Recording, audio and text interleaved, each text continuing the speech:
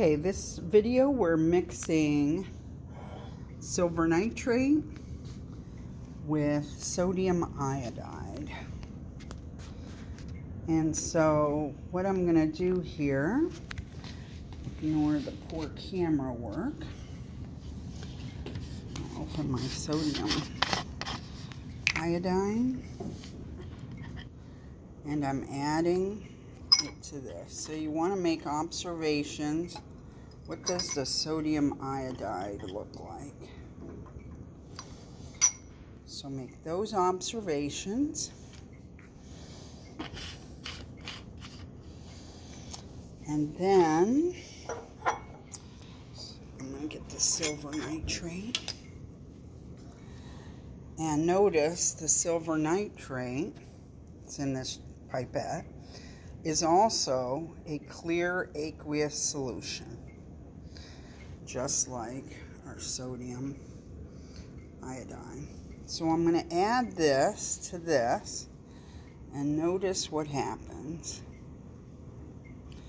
We get this cloudiness.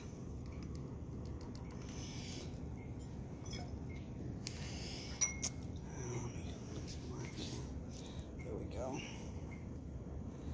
You see it has a distinct yellow color. It takes quite a while to mix this.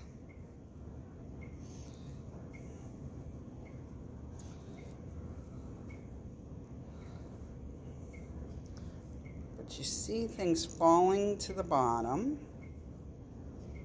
I mix two aqueous solutions together. And whenever we get that cloudiness, that's signaling that we have a precipitation forming. It's not the same precipitation as raining. It's saying when I mix two aqueous solutions together, we get a solid. Now this took us about two hours to see it actually settle out. So I'm going to show you the results of yesterday's lab. And notice how we have that yellow solid at the bottom. Try to show you here. You can see in the light.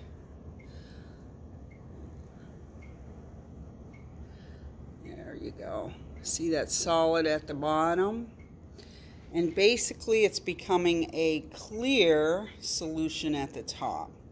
So we have two products. The solid at the bottom and the aqueous solution at the top.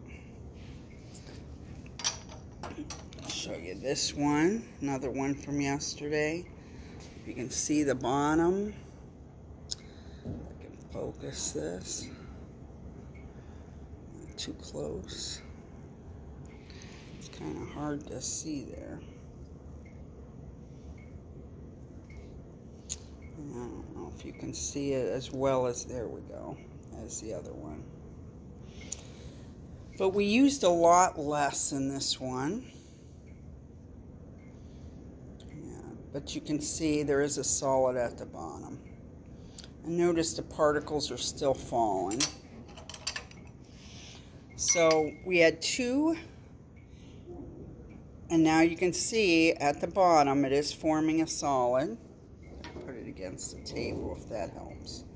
The solid is forming. Two aqueous solutions mixed together formed a solid.